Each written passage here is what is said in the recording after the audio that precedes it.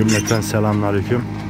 Ekin Çatır'ın Ankara Kahraman Kazan bölgesinde montajını tamamladığımız 22 çarpı 50 metre uzunluğundaki depo amaçlı kullanılacak çadırımızdan görüntüler.